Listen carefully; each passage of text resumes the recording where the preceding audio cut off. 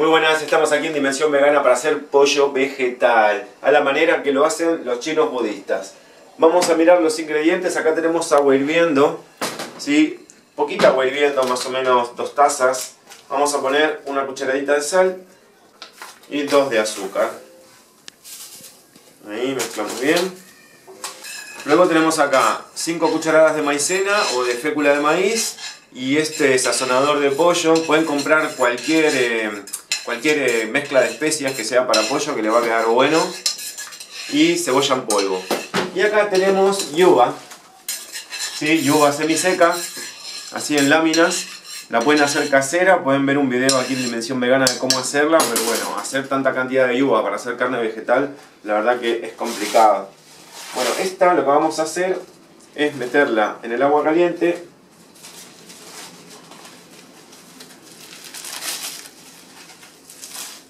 Separándola así.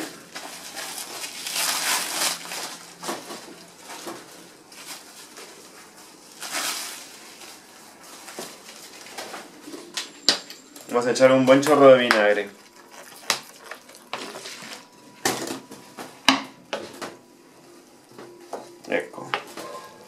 Tenemos que remojar bien bien la yuba.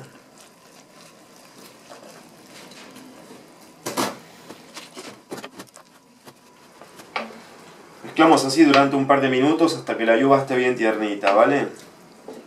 Una vez que tenemos la yuba bien remojada durante unos minutos, vamos a escurrir todo el exceso de líquido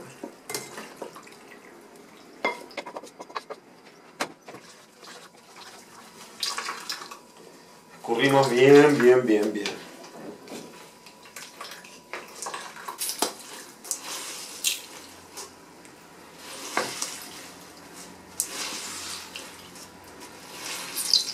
Ya le he sacado todo el agua que pude y vamos a ponerla junto con cebolla en polvo, le voy a echar una cucharada de cebolla en polvo, luego también este condimento para pollo, una cucharada le voy a echar también. Hagamos bien todo.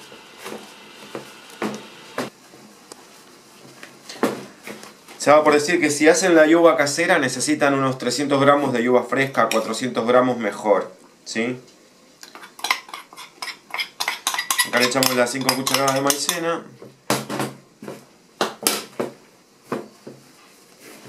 también la empapamos bien a toda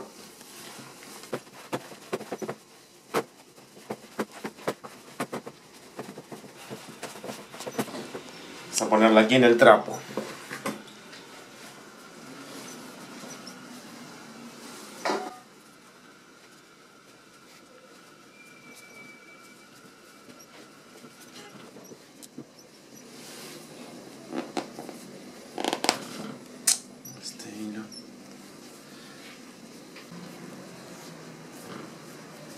Bueno, y ahora hay que apretar fuerte, fuerte. Recuerden que para que la yuba una bien, hay que apretar, ¿eh?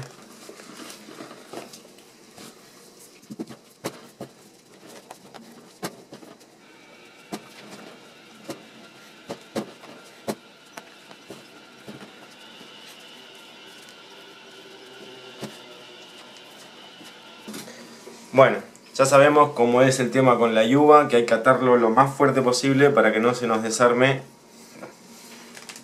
Y una vez que lo tenemos así bien durito, lo vamos a llevar al vapor durante una hora.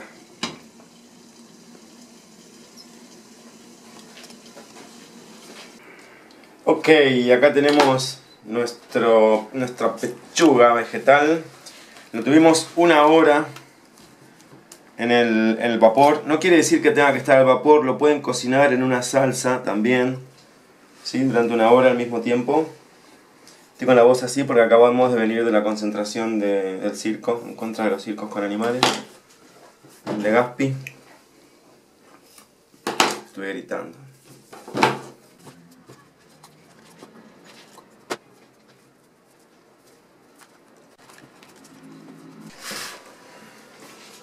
Ok, lo que voy a hacer ahora es cortar la carne en trozos.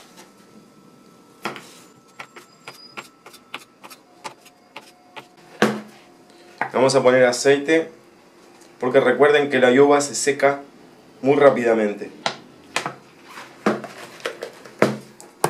Lo voy a conservar así, con aceite. Y le voy a echar también un sobre de condimento para pollo. Estos de pollo al horno. Para que vaya tomando sabor. Y no se me seque la yuba, ¿sí? Y luego esto lo puedo freír o lo puedo hacer eh, en estofado o como quiera. Bueno, este es el pollito, entonces... No quiero decir pollo. No quiero decir pollo. No quiero decir pollo. No quiero decir pollo. No quiero decir pollo. No. Bueno, este es el no pollo. Esto es el no pollo entonces que nos queda, ¿sí? bien condimentado. Lo podemos dejar así un día o dos para que chupe bien los sabores y pierda un poco el sabor de la yuba. ¿sí? Esta carne tiene una textura así como fibrosa, así que bien condimentada y bien trabajada, pasa bien como carne eh, de no pollo. Muchísimas gracias por mirar Dimensión Vegana y bueno, en cuanto sepamos de nuevas técnicas para hacer estas cosas, obviamente estaremos aquí a la vanguardia contándoles todo lo que sabemos. La misma salsa esta, ¿no? Así pues. Dime de nuevo, gordo. Acá estoy cocinando unos trozos de este pollito. Miren, este que de acá, que hice ayer, me quedó mucho más blanco porque no le eché tanto ese, no le eché ese condimento, ¿sí? Sino lo voy a dejar en remojo con el condimento, digamos, y aceite para, que, para poder conservarlo y que vaya chupando el sabor. Recuerden que la yuba es soja, es como el tofu y absorbe los sabores y los olores. Entonces hay que dejarlo un tiempo considerable en remojo. Perdón, en, con la salsita, ¿no? Marinado. Sí, en marinado. eh. Mm. Esto va a quedar bueno, ¿eh? Primero riquísimo, huele genial.